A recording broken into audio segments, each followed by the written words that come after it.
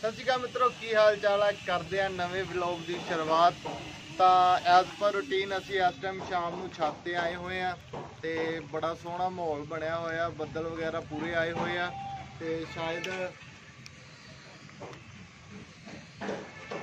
ਤਾਂ ਬੱਦਲ ਪੂਰੇ ਆਏ ਹੋਏ ਆ ਤੇ ਸ਼ਾਇਦ ਅੱਜ ਮੀਂਹ ਵੀ ਆਵੇ, ਤਾਂ ਮੌਸਮ ਬਹੁਤ ਜ਼ਿਆਦਾ ਵਧੀਆ, ਠੰਡਾ ਤੇ ਠੰਡੇ ਮੌਸਮ ਦੇ ਵਿੱਚ ਸਾਨੂੰ ਅੱਜ ਦਿਲ ਕੀਤਾ ਘਰ ਦੀ ਸਬਜ਼ੀ ਖਾਣ ਨੂੰ। ਤੇ ਅੱਜ ਆਪਾਂ ਜਿਹੜੀਆਂ ਆਪਣੀਆਂ ਤੋਰੀਆਂ ਲਾਈਆਂ ਹੋਈਆਂ ਉਹ ਤੋਰੀਆਂ ਤੁਹਾਨੂੰ ਦਿਖਾਵਾਂਗੇ। ਆਪਾਂ ਉਹ, ਮੇਰੀ ਲਾਸਟ ਵਾਲੀ ਵੀਡੀਓ ਦੇ ਵਿੱਚ ਮੈਂ ਤੁਹਾਨੂੰ ਉਦੋਂ ਵੀ ਆਪਾਂ ਤੋਰੀਆਂ ਤੋੜੀਆਂ ਸੀਗੀਆਂ ਪਰ ਅੱਜ ਫੇਰ ਲੱਗ ਗਈਆਂ ਤੇ ਆਜੋ ਤੁਹਾਨੂੰ ਤੋਰੀਆਂ ਦਿਖਾਉਣੇ ਆ ਤੇ ਨਾਲੇ ਆਪਾਂ ਤੋਰੀਆਂ ਤੋੜਦੇ ਆ ਔਰ ਵੀਡੀਓ ਦੇ ਲਾਸਟ ਦੇ ਵਿੱਚ ਮੈਂ ਤੁਹਾਨੂੰ ਇਹ ਇਸ ਸਬਜ਼ੀ ਦੇ ਫਾਇਦੇ ਵੀ ਦੱਸੂਗਾ ਵੀ ਸਬਜ਼ੀ ਦੇ ਫਾਇਦੇ ਕੀ ਆ। ਆਪਾਂ ਨੂੰ ਖਾਣ ਨਾਲ ਜਦੋਂ ਆਪਾਂ ਇਹਨੂੰ ਖਾਂਦੇ ਆ ਤਾਂ ਉਹਦੇ ਆਪਾਂ ਨੂੰ ਕੀ ਕੀ ਫਾਇਦੇ ਮਿਲਦੇ ਆ। ਤੇ ਆਜੋ ਤੁਸੀਂ ਮੇਰੀ ਵੀਡੀਓ 'ਚ ਤੁਹਾਨੂੰ ਮੈਂ ਦਿਖਾਉਣਾ ਘਰ ਦੀਆਂ ਸ਼ੁੱਧ ਤੋਰੀਆਂ। ਤਾਂ ਆਜੋ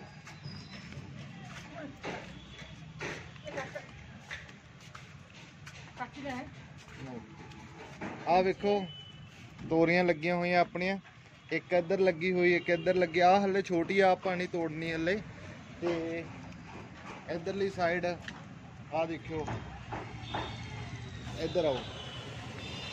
ਆ ਤੋਰੀ ਵੇਖੋ ਤੁਸੀਂ, ਇਹ ਤੋਰੀ ਨਾ ਆ ਦੇਖਣ ਨੂੰ ਐ ਲੱਗਦਾ ਪਿਆ ਵੀ ਜ਼ਿਆਦਾ ਪੱਕੀ ਪਈ ਹੋਈ ਹੈ ਤੋਰੀ, ਪਰ ਇਹ ਤੋਰੀ ਪੱਕੀ ਨਹੀਂ ਹੋਈ।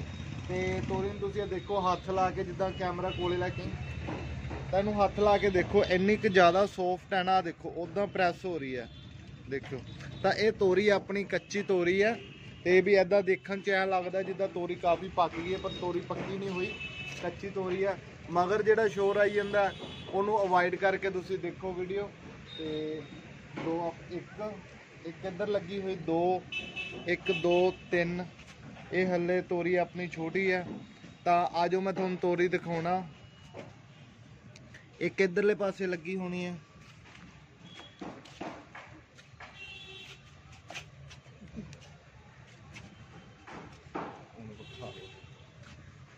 ਆ ਲੱਗੀ ਹੋਈ।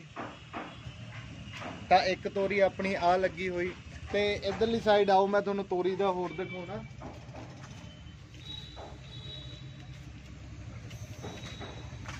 ਆ ਆਪਣੇ ਜਿਹੜੇ ਗਮਲੇ ਬਣੇ ਹੋਏ ਆ, ਇਹ ਹੋਮਮੇਡ ਆ। ਥੋੜੀ ਜੀ ਮਿੱਟੀ ਪਈ ਹੋਈ ਹੈ ਤਿਆਰ ਕਰਿਓ। ਦੇਖਿਓ, ਇਹ ਆਪਣੇ ਜਿਹੜੀ ਪਲਾਸਟਿਕ ਦੀ ਬੋਤਲ ਹੁੰਦੀ ਆ, ਤਾਂ ਪਲਾਸਟਿਕ ਦੀ ਬੋਤਲ ਨੂੰ ਆਪਾਂ ਪਹਿਲਾਂ ਥੱਲੇੋਂ ਵੱਢ ਕੇ ਤੇ ਆ ਤੁਹਾਨੂੰ ਦਿਖਾਉਣਾ। ਆ ਜਿਹੜੀ ਛੋਟੀ ਬੋਤਲ ਆ, ਜਿਹੜੇ 20 ਜਾਂ 30 ਰੁਪਏ ਵਾਲੀ ਬੋਤਲ ਆਉਂਦੀ ਹੁੰਦੀ ਆ, ਠੀਕ ਆ? ਉਹਨੂੰ ਬਚਾ ਲਿਓ ਕੱਟਿਆ ਹੋਇਆ ਔਰ ਉੱਪਰ ਇੱਕ ਪਲਾਸਟਿਕ ਦਾ ਕੱਟ ਕੇ ਲਾਇਆ ਹੋਇਆ ਤੇ ਆਪਣੇ ਕੀਤਾ ਹੋਇਆ। ਆ ਇਦਾਂ ਹਾਂ ਮਤਲਬ ਜਿੱਦਾਂ ਮਿੱਟੀ ਆਪਾਂ ਜਦੋਂ ਵੀ ਪੌਦਾ ਲਾਉਣੇ ਆ ਤਾਂ ਉਹਨੂੰ ਨਾ ਹਵਾ ਦੀ ਵੀ ਲੋੜ ਹੁੰਦੀ ਹੈ ਤੇ ਪਾਣੀ ਦੀ ਵੀ ਲੋੜ ਹੁੰਦੀ ਆ ਤਾਂ ਉੱਥੇ ਆਪਾਂ ਨਿੱਕੇ ਨਿੱਕੇ ਸੁਰਾਖ ਕਰਤੇ ਜੀ ਅ, ਜਿਹਦੇ ਨਾਲ ਆਪਣਾ ਜਿਹੜਾ ਬੂਟਾ ਵਧੀਆ ਰਵੇ ਤੇ ਆਹ ਵਾਲਾ ਵੀ ਆਪਾਂ ਉਦਾਂ ਕੀਤਾ। ਤੇ ਇਹਨੂੰ ਵੀ ਆਪਾਂ ਉਦਾਂ ਸੇਮ ਪਲਾਸਟਿਕ ਦੀ ਬੋਤਲ ਤੇ ਆ ਪਲਾਸਟਿਕ ਦਾ ਲਾਣਾ ਕੀਤਾ ਹੋਇਆ। ਇਹਦੇ ਥੱਲੇ ਵੀ ਦੇਖੋ ਕੀਤੇ ਹੋਏ ਆ। ਤੇ ਹੁਣ ਆਜੋ ਮੈਂ ਤੁਹਾਨੂੰ ਤੋਰੀਆਂ ਬਾਰੇ ਦੱਸਦਾ। ਤੇ ਤਾਂ ਮਿੱਤਰੋ ਉਧਰ ਤੁਹਾਨੂੰ ਮੈਂ ਤੋਰੀਆਂ ਦਿਖਾਈਆਂ ਜੀ ਆਪਣੀਆਂ ਲੱਗੀਆਂ। ਹੁਣ ਮੈਂ ਤੁਹਾਨੂੰ ਤੋਰੀਆਂ ਦੀ ਪਹਿਚਾਣ ਦੱਸਦਾ। ਜਦੋਂ ਆਪਣੇ ਵੇਲ ਲੱਗੀ ਹੁੰਦੀ ਹੈ ਤਾਂ ਤੋਰੀ ਦੀ ਅ, ਪਹਿਚਾਣ ਕਿਵੇਂ ਹੁੰਦੀ ਆ ਆਜੋ ਤੁਹਾਨੂੰ ਦੱਸਦਾ ਮੈਂ। ਤਾਂ ਆ ਦੇਖਿਓ, ਸਭ ਤੋਂ ਪਹਿਲਾਂ ਤੁਸੀਂ ਦੇਖਿਓ, ਇਹ ਇੱਧਰ ਉੱਪਰ ਫੁੱਲ ਲੱਗੇ ਹੋਏ ਆ। ਤਾਂ ਇਹ ਜਿਹੜੇ ਫੁੱਲ ਆ, ਇਹ ਤੋਰੀ ਨਹੀਂ ਬਣ ਹੋਊਗੀ। ਇਹ ਇਹਦੇ ਥੱਲੇ ਦੇਖੋ, ਇੱਧਰ ਦੇਖਿਓ। ਵੇਲ ਦੇ ਥੱਲੇ ਜਿਹੜੀ ਆਪਣੀ ਆ ਤੋਰੀ ਜਿੱਦਾਂ ਲੱਗੀ ਆ, ਠੀਕ ਆ, ਇਹ ਜਿਹੜਾ ਫਲਾਵਰ ਇਹਦੇ ਅੱਗੇ ਹੈਗਾ। ਤਾਂ ਇਹ ਆਪਣੀ ਜਿੱਦਾਂ ਤੋਰੀ ਇੱਕ ਆ ਦੇਖੋ, ਇਹ ਸੜ ਗਈ ਆ।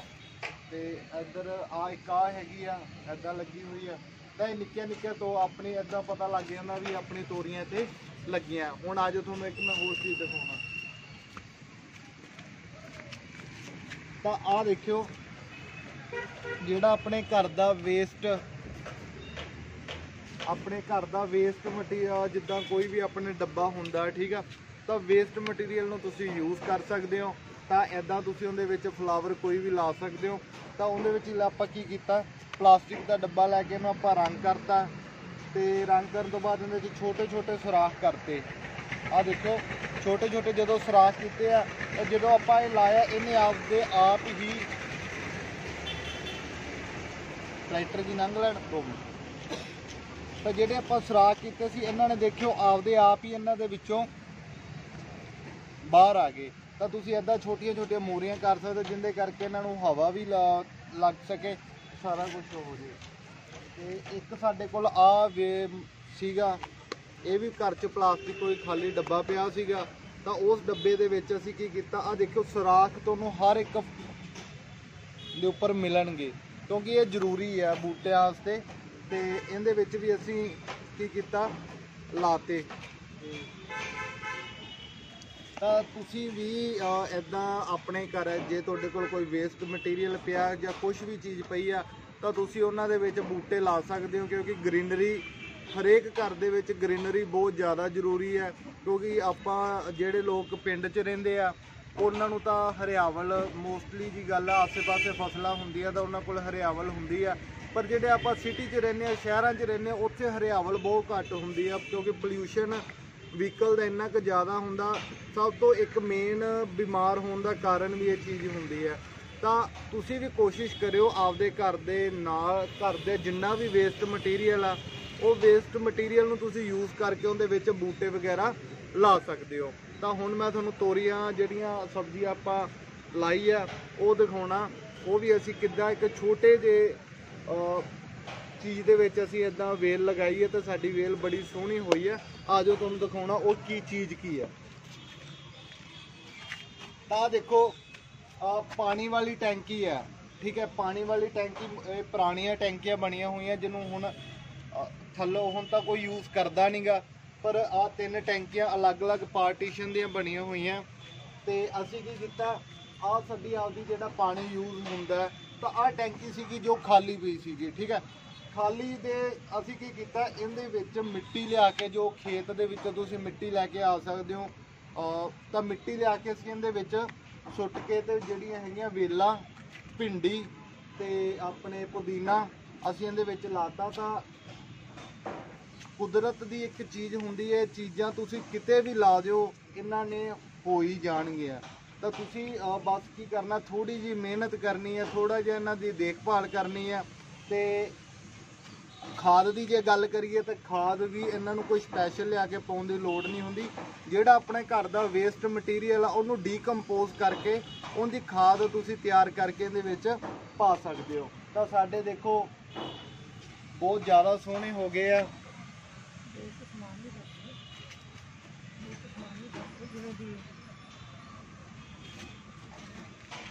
ਦੇਖੋ, ਬਹੁਤ ਜ਼ਿਆਦਾ ਸੋਹਣੇ ਹੋ ਗਏ।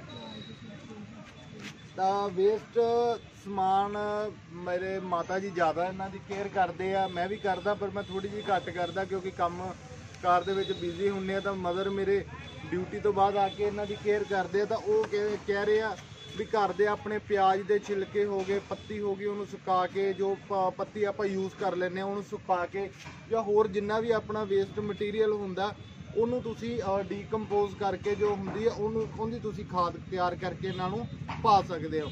ਉਹ ਸਪੈਸ਼ਲ ਖਾਦ ਵੀ ਆਉਂਦੀ ਹੈ, ਸਪਰੇਆਂ ਵੀ ਆਉਂਦੀਆਂ ਇਹਨਾਂ ਵਾਸਤੇ, ਪਰ ਜਿਹੜੀ ਅਸੀਂ ਆ ਸਪਰੇ ਬਹੁਤ ਘੱਟ ਯੂਜ਼ ਕਰਦੇ ਆ ਮੋਸਟਲੀ ਕਰਦੇ ਹੀ ਨਹੀਂਗੇ। ਤਾਂ